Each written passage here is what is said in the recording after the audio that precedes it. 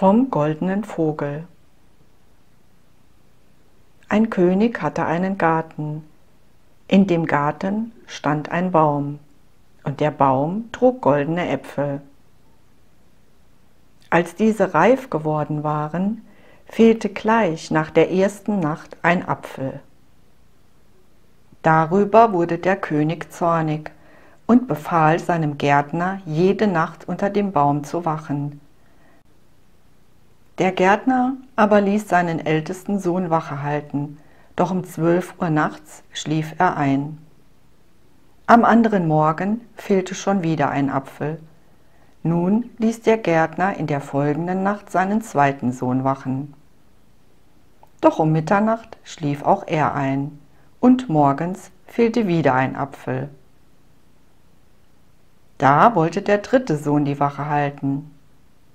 Erst wollte der Gärtner nichts davon wissen, doch dann gab er nach und ließ den dritten Sohn unter dem Baum wachen. Der wurde nicht müde, und als es Mitternacht vom Turm schlug, rauschte es durch die Luft, und ein Vogel setzte sich in die Krone des Baumes. Der Vogel war aus purem Gold. Gerade als er mit seinem Schnabel nach einem Apfel picken wollte, schoss der Gärtnerssohn einen Pfeil auf ihn ab. Doch der Pfeil tat dem Vogel kein Leid an, sondern schoss ihm nur eine goldene Feder aus. Schnell flog der Vogel davon. Am Morgen wurde die Feder zum König gebracht, der alsbald seinen Rat um sich versammelte. Jeder der Räte erklärte, diese Feder allein sei mehr wert als das ganze Königreich. Der König sagte darauf, die Feder nützt mir nichts, den ganzen Vogel muss ich haben. Da machte sich der älteste Sohn auf, um den goldenen Vogel zu finden. Als er eine Strecke zurückgelegt hatte, kam er an einen Wald. Vor dem Wald saß ein Fuchs, und der Sohn nahm seine Flinte und zielte auf den Rotpelz. Schieß mich nicht, begann der Fuchs zu sprechen, ich kann dir einen guten Rat geben, weil ich weiß, wohin du wandern musst. Du suchst den goldenen Vogel. Wenn du heute Abend in ein Dorf kommst, wirst du zwei Wirtshäuser sehen. In einem geht's heiter und lustig zu. Geh dort nicht hinein, sondern tritt in das gegenüberliegende, mag es auch schlecht darin aussehen. Der Sohn dachte, was kann mir ein Tier raten, nahm die Flinte und drückte ab. Doch er verfehlte den Fuchs, der jetzt schnell in den Wald lief. Der älteste Sohn setzte seine Reise fort und kam abends in das Dorf, in dem die beiden Wirtshäuser standen. In dem einen wurde gesungen und gesprungen, und in dem anderen sah es düster und trüb aus. Ei, ich wäre ja ein rechter Narr, wenn ich in das schmutzige Wirtshaus ginge und das Schöne außer Acht ließe, dachte er sich und ging in das bessere Wirtshaus zur Tür hinein, lebte in Saus und Braus und vergaß den Vogel und seine Heimat. Die Zeit verging, und als der älteste Sohn nicht heimkehrte, machte sich der zweite auf. Er erlebte das gleiche wie der älteste, und als er vor den beiden Wirtshäusern stand, sah er seinen Bruder aus dem Besseren hinausschauen und ihm zuwinken. Er ging auch hinein und ließ sich's dort wohlgehen. Wieder war sehr viel Zeit verstrichen, da wollte der jüngste Sohn auch in die Welt hinaus. Doch der Vater wollte es erst nicht zulassen, denn er liebte den Jüngsten sehr und fürchtete, es möge auch ihm ein Unglück zustoßen. Endlich, als der jüngste Sohn keine Ruhe mehr gab, ließ er ihn ziehen. Vor dem Wald traf der Jüngste auch den Fuchs, der ihn ansprach und ihm den gleichen guten Rat erteilte, den er schon seinen Brüdern gegeben hatte. Der dritte Sohn war aber gutmütig und trachtete dem Fuchs nicht nach dem Leben. Da sprach der Fuchs zu ihm, Steig hinten auf meinen Schwanz, dann kommst du schneller voran. Kaum saß er drauf, da begann der Fuchs zu laufen. Über Stock und Stein ging's ihm hui. dass dem jüngsten Sohn die Haare nur so flogen.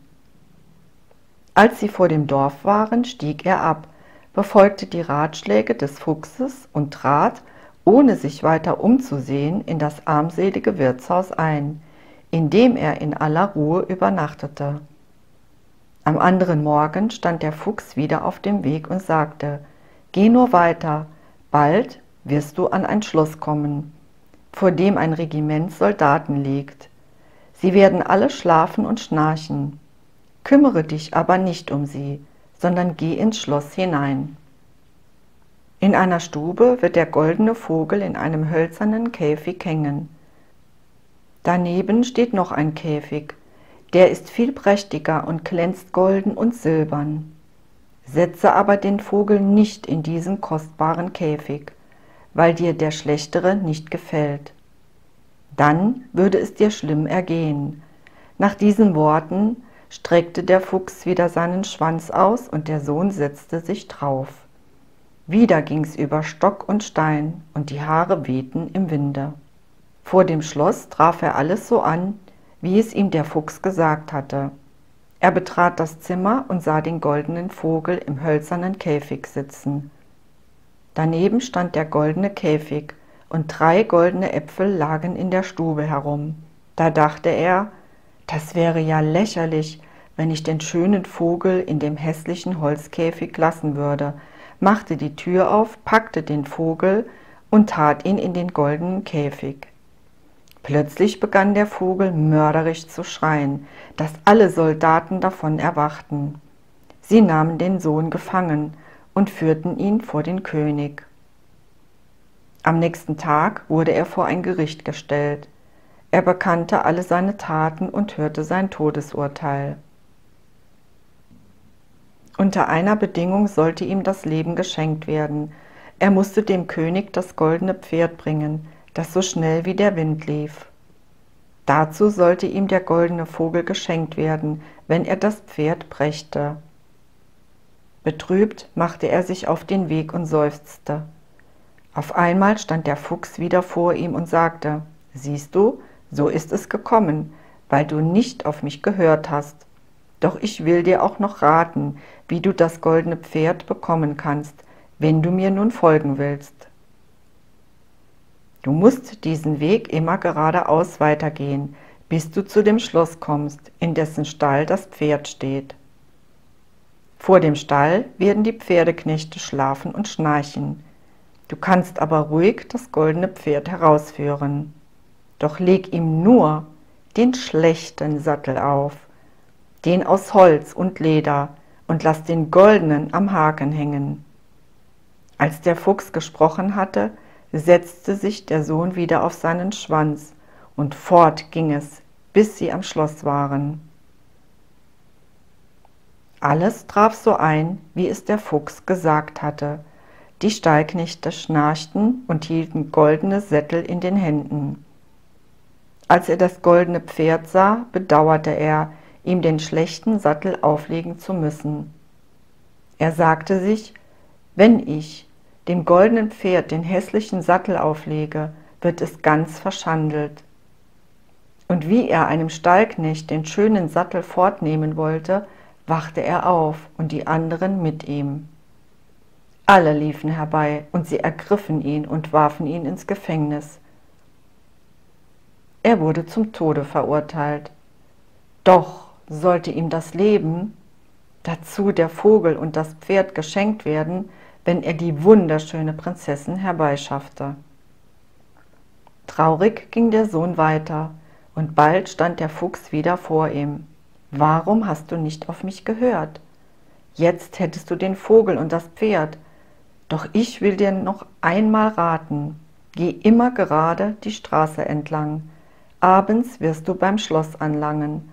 Nachts um zwölf Uhr badet die Prinzessin im Badhaus. Da geh hinein, gib ihr einen Kuss und nimm sie mit dir fort. Dulde aber nicht, dass sie sich vorher von ihren Eltern verabschiedet. Der Fuchs streckte seinen Schwanz, und wieder ging es über Stock und Stein, dass die Haare flogen. Beim Schloss angekommen, fand der Sohn alles so vor, wie es der Fuchs gesagt hatte. Nachts gab er der Prinzessin den Kuss im Badehaus, und sie wollte auch gern mit ihm gehen, doch sie bat ihn unter vielen Tränen, er solle ihr nur erlauben, dass sie ihrem Vater Lebewohl sage. Erst schlug er's ab, als sie aber immer mehr weinte, erlaubte er es ihr. Kaum sprach sie mit ihrem Vater, wachten alle im Schloss auf, und der Sohn wurde wieder gefangen gesetzt. Der König sagte zu ihm, Meine Tochter bekommst du nicht, es sei denn, du trägst mir binnen acht Tagen den Berg ab, der mir von meinem Fenster die Aussicht nimmt. Dieser Berg war jedoch so groß, dass ihn alle Menschen auf der Erde nicht hätten abtragen können. Sieben Tage hatte der Sohn nun schon gearbeitet, aber nur wenig geschafft. Darüber wurde er ganz traurig. Doch am Abend des siebenten Tages kam der Fuchs und sprach, Leg dich schlafen, ich will die Arbeit für dich tun. Als der Sohn am anderen Morgen erwachte, war der Berg abgetragen. Fröhlich ging er zum König und sagte ihm, dass der Berg nicht mehr da sei, er solle ihm jetzt die Prinzessin geben. Dem König blieb nun nichts anderes übrig, und der Sohn zog mit der Prinzessin fort. Da kam der Fuchs und meinte, wir müssen alle drei haben, die Prinzessin, das Pferd und den Vogel. Ja, wenn du das einrichten könntest, sagte der Jüngling, es wird dir aber nur schwer gelingen. Wenn du gehorchen willst, will ich schon schaffen, antwortete der Fuchs. Kommst du jetzt zum König, der die wunderschöne Prinzessin verlangt, sag ihm, hier sei sie. Groß wird seine Freude sein. Dann setze dich aufs Pferd, das er dir geben muss, und reich zum Abschied allen die Hand.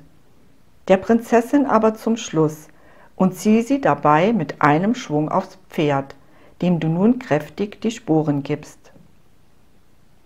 Alles geschah so, wie es der Fuchs von dem König verlangt hatte. Nun sprach der Fuchs weiter, wenn wir vor das Schloss kommen, in dem der Vogel ist, bleibe ich mit der Prinzessin vor dem Tor stehen. Du reitest hinein und sprichst, hier ist das Pferd, das ihr verlangt. Dann werden sie dir den Vogel bringen. Du aber bleibst auf dem Pferd sitzen und sagst, du wolltest erst sehen, ob es auch der richtige Vogel sei. Hast du ihn erst in der Hand, jagst du eilig davon. Alles ging gut, und als er den Vogel hatte, setzte sich die Prinzessin wieder vor ihm aufs Pferd, und sie ritten weiter, bis sie in einen großen Wald kamen. Da bat der Fuchs, der Jüngling möge ihn doch totschlagen und ihm Kopf und Pfoten abhauen. Doch der Jüngling wollte es durchaus nicht tun. So will ich dir wenigstens einen Rat geben, kauf kein Galgenfleisch und setz dich an keinen Brunnenrand, sprach der Fuchs. Nun, wenn's weiter nichts ist, dachte der Jüngling, das ist nicht schwer. Er zog nun mit der Prinzessin weiter, bis in das Dorf, in dem seine Brüder geblieben waren. Dort gab es einen großen Auflauf und viel Lärmen. Auf seine Frage, was das für ein Geschrei sei, bekam er zur Antwort, es sollten zwei Leute aufgehängt werden.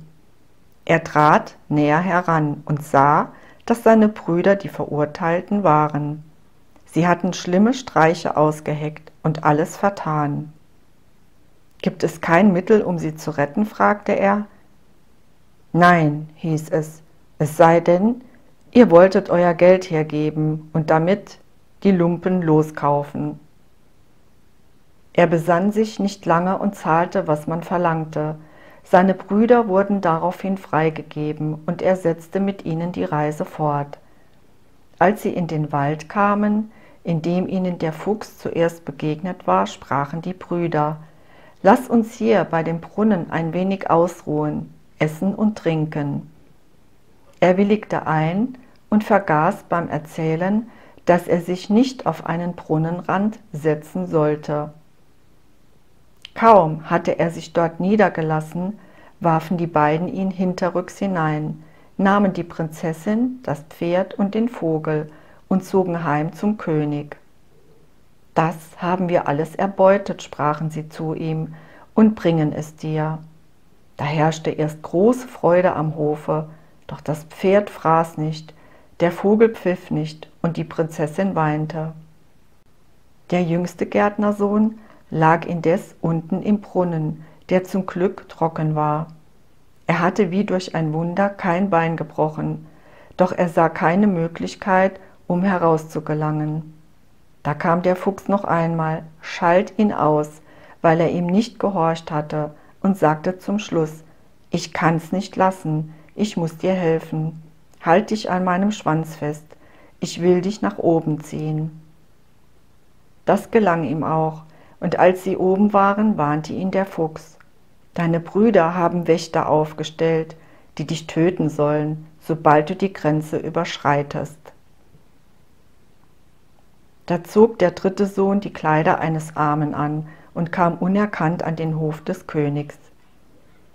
Er hatte gerade das Tor durchschritten, da fraß das Pferd, der Vogel pfiff und die Prinzessin hörte auf zu weinen. Er trat vor den König und offenbarte ihm das Schelmenstück seiner Brüder und erzählte, wie sich alles zugetragen hatte. Die Brüder wurden ergriffen und hingerichtet, und er bekam die Prinzessin zur Frau und nach dem Tode des Königs auch dessen Reich. Lange danach ging er wieder einmal in den Wald und begegnete dem alten Fuchs. Flehentlich bat dieser ihn, er solle ihn totschießen und ihm Kopf und Pfoten abschneiden. Jetzt tat er es endlich, und kaum war es geschehen, da verwandelte sich der Fuchs in einen Menschen, und war der Bruder der Königin, der nun endlich von einem bösen Zauber erlöst worden war.